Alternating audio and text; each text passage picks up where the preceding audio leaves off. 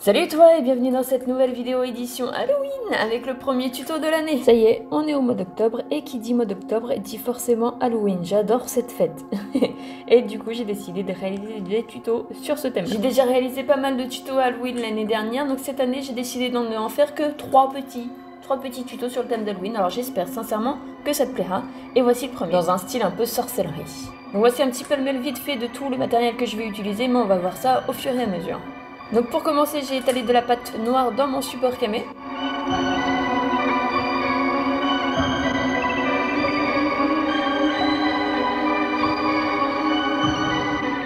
J'ai texturé tout ça avec un peu avec une petite boule d'alu. Et pour l'agrémenter, j'ai décidé d'utiliser de la poudre phosphorescente. Alors malheureusement, ça se voit pas très très bien à la caméra, mais elle est bien phosphorescente. Que j'ai mélangé avec de la fimo liquide. Bon, le résultat après cuisson n'était pas assez phosphorescent à mon goût, donc j'en ai rajouté avec du vernis. J'ai refait la même, euh, la même mixture, comme dirait la sorcière.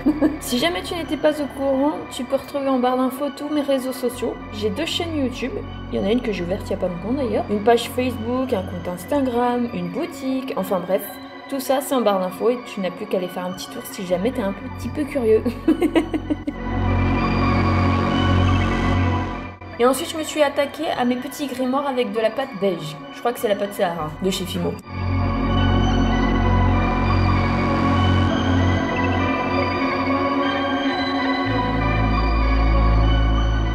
Donc j'ai coupé trois petits rectangles à l'intérieur de cette pâte.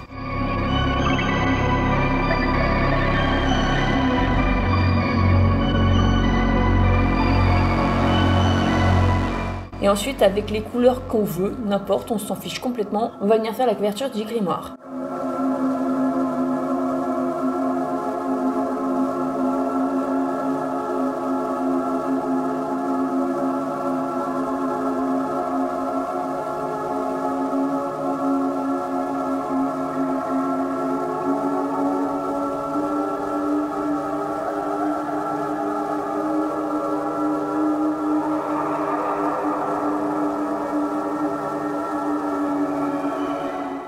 J'oublie pas de marquer la tronche du euh, grimoire pour donner un style en plus.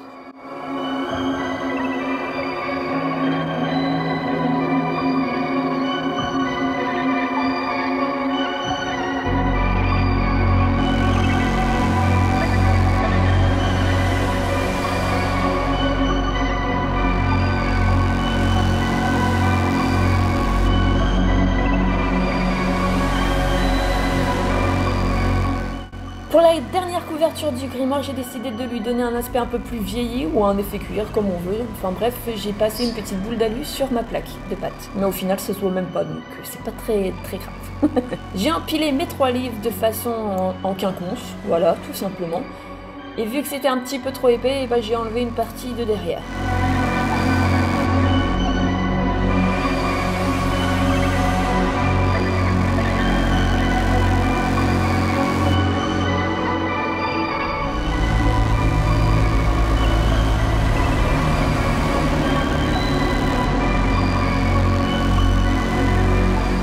Ensuite je me suis attaqué à mon petit corbeau, moi j'ai pas vraiment d'explication à donner et je pense que les images parlent d'elles-mêmes parce que sinon je vais m'embrouiller toute seule.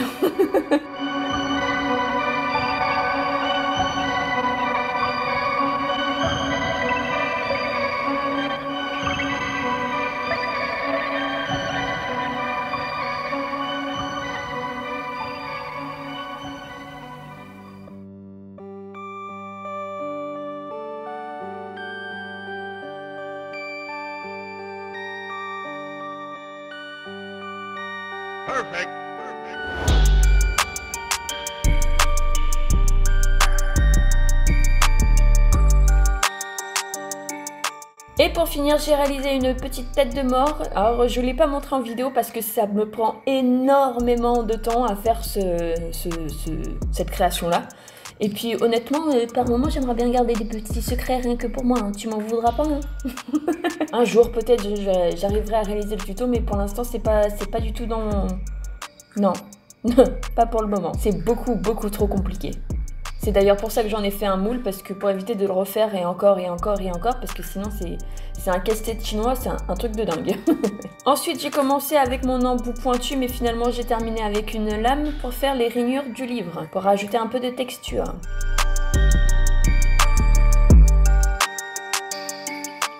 Et pour rajouter encore un petit effet en plus, j'ai décidé de rajouter des liserés sur le, sur le, grimoire. Pardon.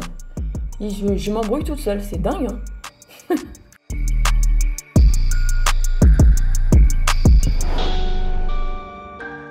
Je les colorise un petit peu avec du pernex pour que ça soit plus joli. Et vu que c'est tout petit dans le bouchon, ça suffit largement.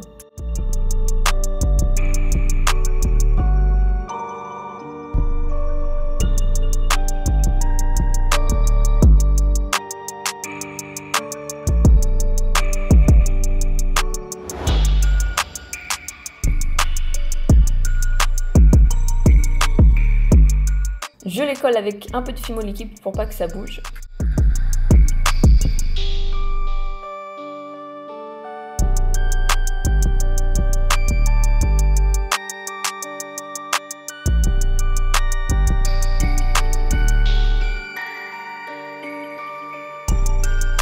Et maintenant avec du pastel et aussi du perlex un petit peu, eh bien je viens vieillir mon crâne.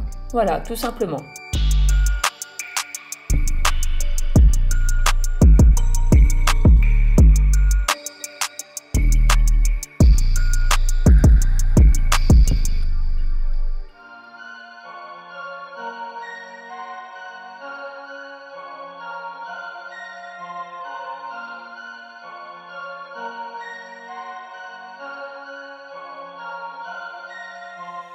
Et cette création est maintenant terminée. Donc voilà maintenant le premier tuto Halloween de cette année est déjà terminé. J'espère qu'il t'aura plu. N'hésite pas à me dire tout ce qui te passe par la tête. Je répondrai aux commentaires avec le plus grand des plaisirs, même si je suis un petit peu longue. bon, dans tous les cas, j'espère que ça t'a plu. Je te fais tout plein de gros poutous et je te retrouve très très vite, vraiment très très vite pour le prochain tuto d'Halloween. En attendant, et eh bah tout plein de gros poutous. Bye bye